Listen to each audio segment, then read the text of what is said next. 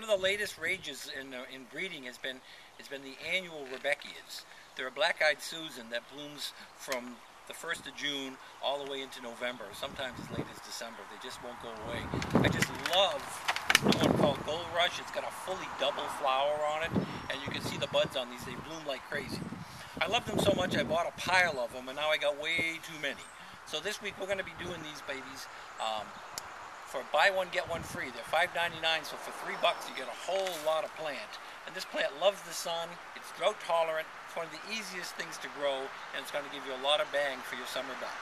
So this week only, uh, buy one, get one free Gold Rush Rudbeckia. Come on down.